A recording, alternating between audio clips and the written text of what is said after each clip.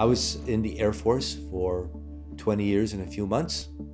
I did strategic nuclear war planning. I was in a combat unit for three years, headquarters communications, policy and plans for communications and computers, NATO, Joint Chiefs of Staff, DISA, and Office of the Secretary of Defense, then retired. The head of neurology at Walter Reed reviewed my MRI and he put up the films, and all of a sudden, he got quiet. And he, he looked and said, You have MS. Often, when people hear multiple sclerosis, they think about some of the physical impacts of the disease, such as difficulty walking.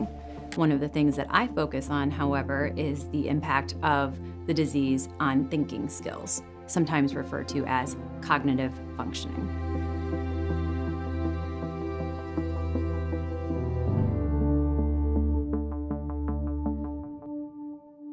Most commonly affected areas of cognitive functioning are processing speed, learning of new information, and organization, problem solving, those kind of higher level skills that people need in order to be able to function well in their daily lives. I get distracted. I can be reading my newspaper, look up, oh, the hummingbird feeder needs to be filled.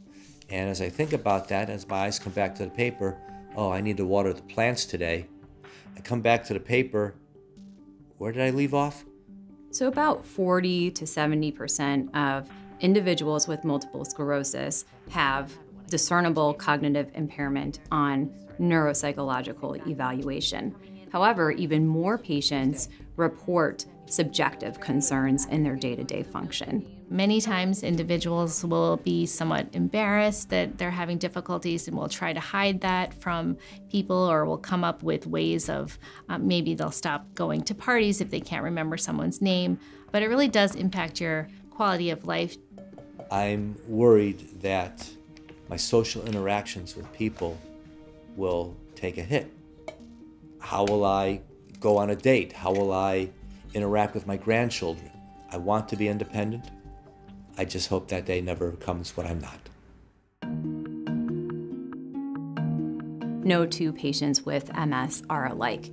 And that's why it's very important to have an objective assessment of thinking right, so skills. We're going to be doing a battery of neuropsychological tests today. And what that means is I'm going to ask you to do a bunch of different tasks. The neuropsychological evaluation includes objective tests that assess different aspects of thinking skills attention, memory, problem solving. And we look at all of that information to better understand the inner workings of your brain and its association with behavior.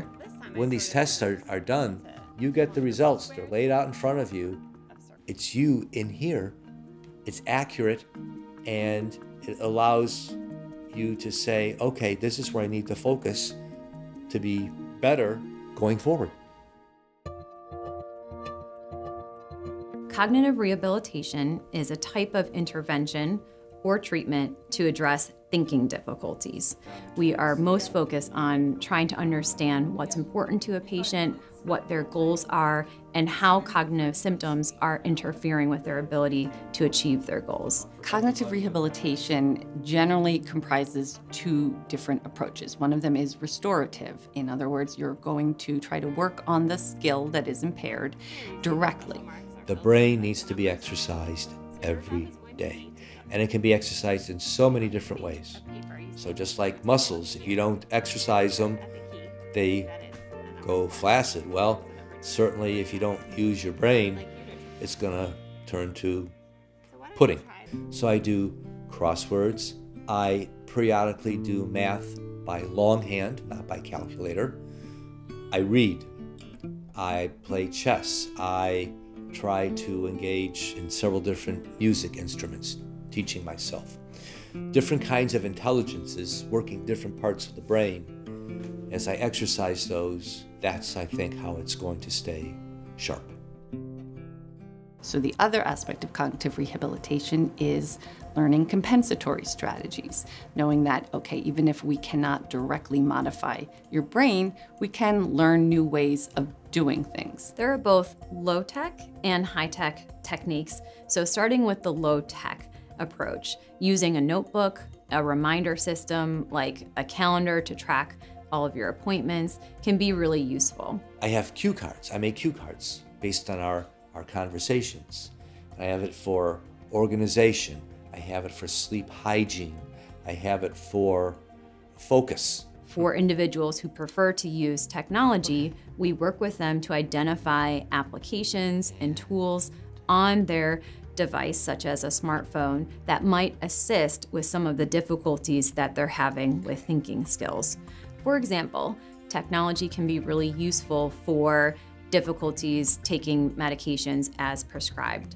The dosing schedules and time, and just sheer number of medications that they're taking can get very complicated very quickly. But I have a cure for that. I put it in my iPhone. Cognitive symptoms and fatigue are both symptoms of multiple sclerosis. What we find is that when people are particularly fatigued, that cognitive symptoms are even worse. So we work on different strategies, sometimes referred to as sleep hygiene, to come up with a routine at night before bedtime that works for a person. The last time you were here, we were talking about making some changes in your sleep habits. Mm. How did that go? It was a rough week. Oh, yeah? Up, down, up, down, up, down.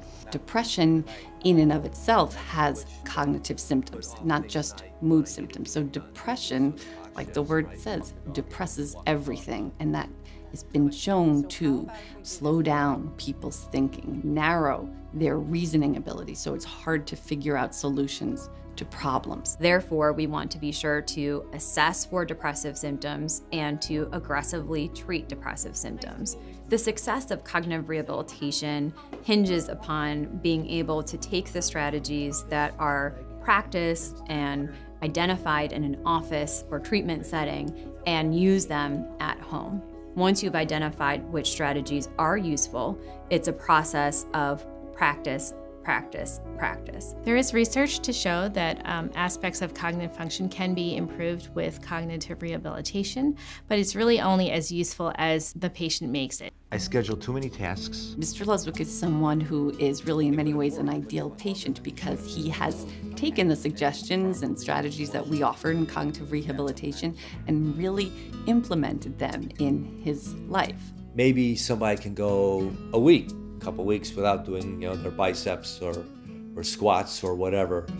The brain is a little bit different. It needs to be exercised every day. We're talking about the one thing in your body that keeps everything going. And if you let that go and it goes to pudding, then the rest of the body it's not going to fare well at all. A lot of things motivate me. I have a life. I have goals. I have two children. I have three grandchildren, and they would like me to be there for them. But what if I have a problem because I haven't been doing my exercises? We are here to work with people and help them adjust and adapt and find ways to live the best life that they can live. You have to avail yourself of the services that are there for free. So if you're not in the VA system, you get in the VA system, you can then take advantage of neurology and neuropsychology to help you deal with your MS. You can only make yourself better. So go.